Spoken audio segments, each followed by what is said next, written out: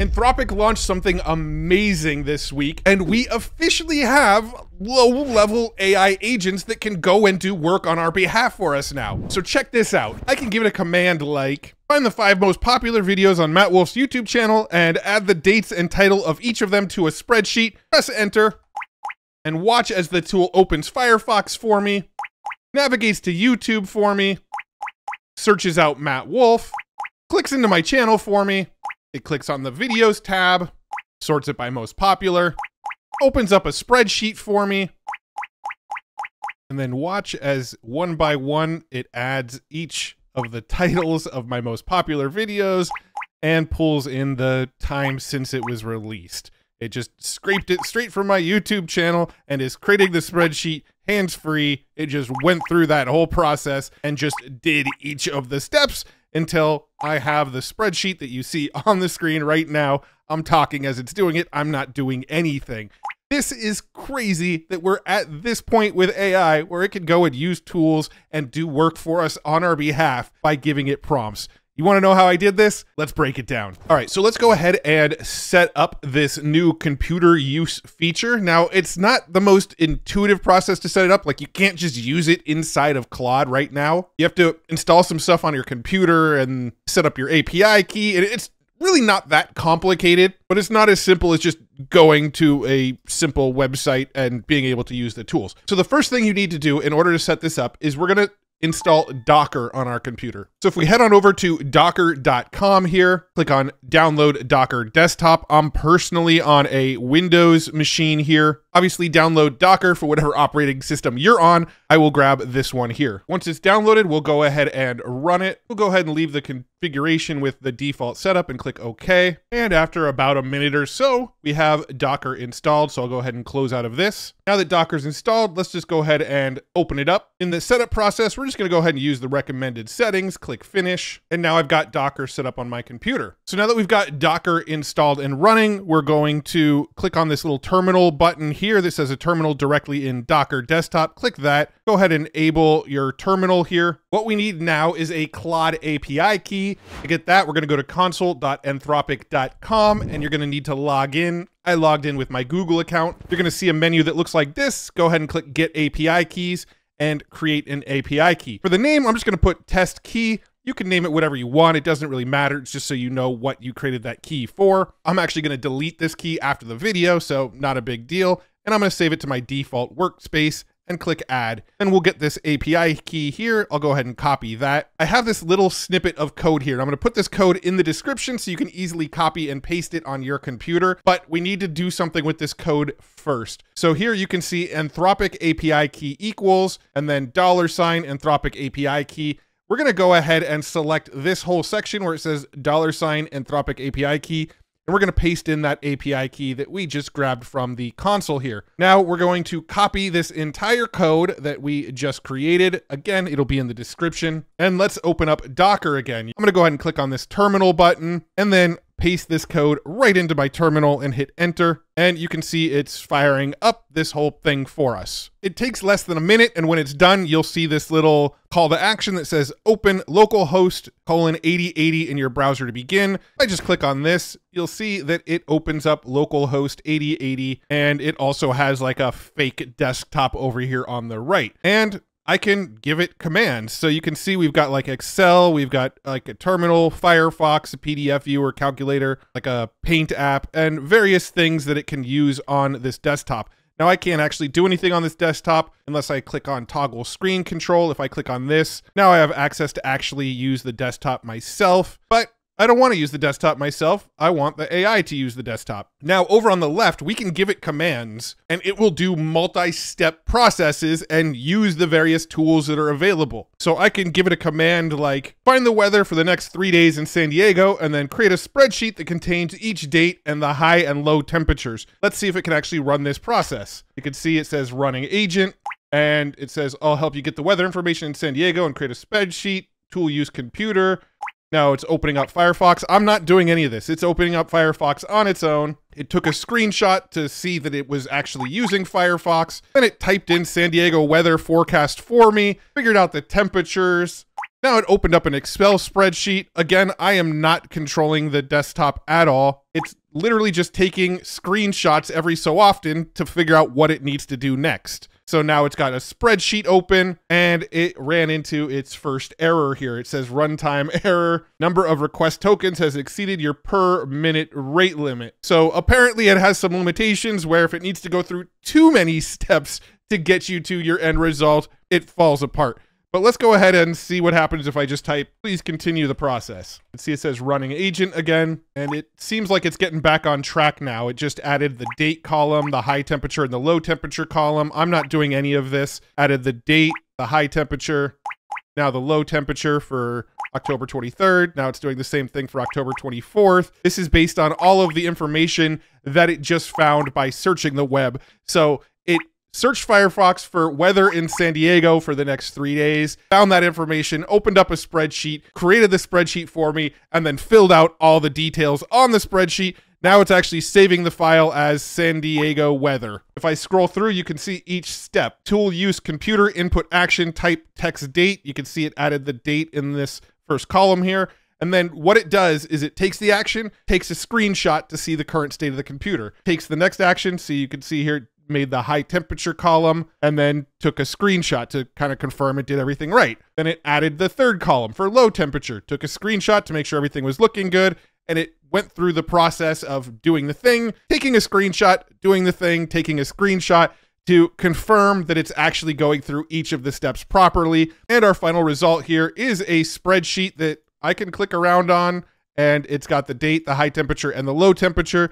If I open up Firefox here, you can see this is where it grabbed the data from San Diego weather forecast, and it grabbed it for the next three days here. I'm to go ahead and refresh and start over. So my chat window on the left is clean. Let's tell it to find a photo of Matt Wolfe, the YouTuber, download it, and then resize it so the height is 500 pixels. And let's go ahead and let it run that. Let's see if it will automatically do all these steps. My hands are off of it now. So it's looking at what's currently on the screen to figure out what it needs to do. It sees we got Firefox with the weather. It just did a search for Matt Wolfe YouTuber. Now it's clicking on the images tab to find some photos. And once again, it looks like I ran into that same error code, rate limit error. Number of request tokens has exceeded your per minute rate limit. I can also contact sales at Anthropic to discuss my options for a rate limit increase. But let's go ahead and do what I did last time and just tell it to please continue and it picks up where it left off. You can see it's saving the image here. It took a screenshot to see the current state of things. And now it won't even continue even when I type please continue. So apparently that's just too many steps for it to handle right now. But the big idea is we can see where this is all headed. I'm to go ahead and refresh this again, get a whole new setup going. You can see if I go back to my Anthropic console here under my limits, you can see it's got five requests per minute on Claude 3.5 Sonnet, which is what it's actually using. So apparently it's just sort of moving through those steps too fast to where I'm hitting that limit. Okay, so what I just did was I entered some credit card details on the billing section so that I'm no longer on what they called the free tier. Now I'm on tier one. And it looks like it upgraded my requests per minute to 50 instead of five. So now I should be able to go back and use this agent feature without it sort of hitting those rate limits. So now let's try this again, hopefully with an increased rate limit. I'm to use the prompt once again, find an image of Matt Wolfe, the YouTuber, download it, and then resize it so that the height is 500 pixels. And let's let it do its thing. Hands off, I'm not doing anything. It took a picture of the screen, says it's going to open up Firefox. Now it's opened up Firefox. Did a quick search for Matt Wolfe YouTuber found a bunch of images when it clicked to the images tab. Now, this is a little bit slower than what you're seeing. I'm cutting out some of the gaps in the video to make it feel like it's moving along, but there is a little bit of a delay between each of these steps because what it's doing is it's looking at a screenshot to see the current state of the screen and then what it's doing after it looks at the screenshot is it decides the next action like right now it sees that it's on a file naming section. So it named the file, it downloaded it as untitled.jpg, and now we can see it's using a command down here to try to resize the image that it just downloaded. So this is actually pretty insane. I want to test one last thing because there's like a little paint program here. Let's tell it to open paint and draw a stick figure. Let's see if it can draw. I don't even know what's going to happen here. Okay, so it opened up a tool called color paint here. Now let's draw a stick figure, a head, a circle, vertical line for the body, arms, horizontal lines, legs, two diagonal lines. So now it's looking at the screen and uh, let's see, does it actually draw the stuff or is it stuck in a loop? Seems to be stuck on the drawing step. Doesn't quite seem to be figuring out how to draw an actual picture. Right now there theoretically should be a circle already here, but we're not seeing it. I'm gonna go ahead and stop this one. It doesn't seem to be uh, getting the point. It doesn't seem to be able to actually draw what it's supposed to be drawing, but we can get the concept. We can see what Anthropic is going for with this we give it a command of what we want it to do, and it will actually go browse Firefox for us. It will open up a spreadsheet and enter data for us. It will do research for us. It will download files for us. It will save files for us. It will run commands in the terminal for us. Now, this is running inside of a virtual computer. This isn't actually running on my computer. This is all virtual here. So anything that actually happens on this fake computer here isn't really affecting my real computer. But we can see all of the tools that they're demonstrating it can use now. Pretty wild stuff. We're getting this much closer to actual AI agents. Now, this is technically an AI agent, but we've seen in this demo that it still leaves a little bit to be desired. It still runs into like rate limit issues, even when I upgrade it and have a limit of 50 requests per minute. It actually still hit my rate limit when I was trying some of my things. Also, it was trying to draw like a stick figure by going left click drag on these coordinates, but for whatever reason, nothing was actually happening inside of our paint program. But it did manage to complete my command where I asked it to look up the weather for me and then open up a spreadsheet and then enter all the details of the weather in the spreadsheet.